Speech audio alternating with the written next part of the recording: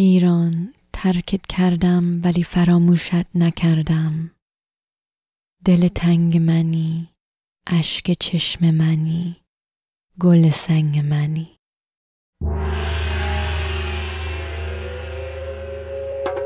It was a work in progress and it was a very organic experience. Uh, a lot of love went into it, if that's not a cliche thing to say.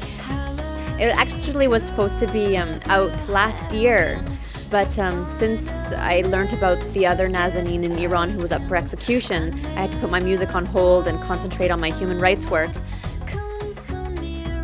And now that uh, she's thankfully freed, I've been able to pick up on the music and um, we've wrapped it all up and it's been so much fun. I, for once in my life, I've been having fun.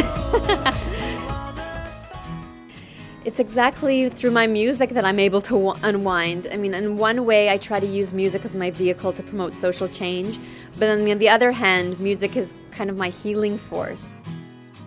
I've heard some very, very distressing stories, and, and I keep it all inside, and I feel very responsible for everyone that writes to me.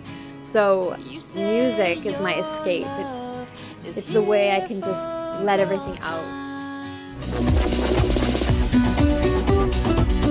I've got so many favorite artists. I love fusion music. I love um, artists that fuse one music from one part of the world with another, like Arabic music with Spanish music.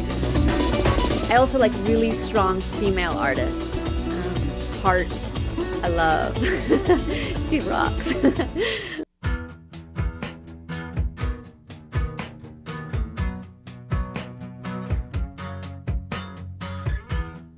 They were on the march then in 1978.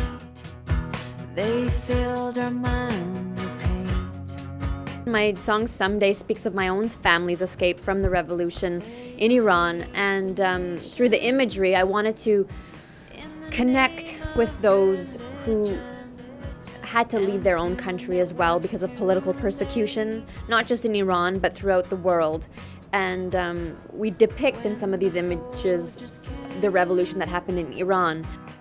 Um, when the revolution happened back in 1979, my family had to flee the country. First, we went to Spain and France for a year, and then we settled in Vancouver, British Columbia, where I live now.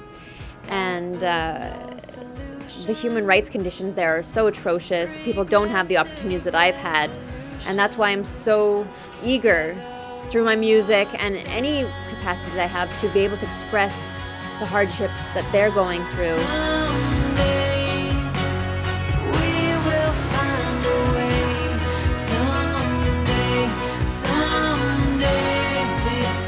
But in the second half of the song, we, really try to give hope to the people by showing examples of revolutions that have happened in the past, of students coming together in acts of civil disobedience, peaceful, mind you, um, to overturn the dictatorship, to overturn um, repressive regimes like we've seen in the Otpor Revolution or the Rose Revolution or the Velvet Revolution. And so, again, trying to instigate that in time we'll find a way, and um, by uniting, we'll be able to bring freedom and democracy to all.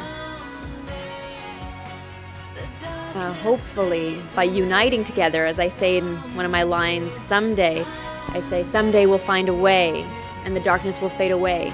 I really believe that that day will come, but that will only come by uniting together, and I really have hope.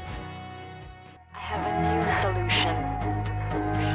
It's called progressive revolution. And someday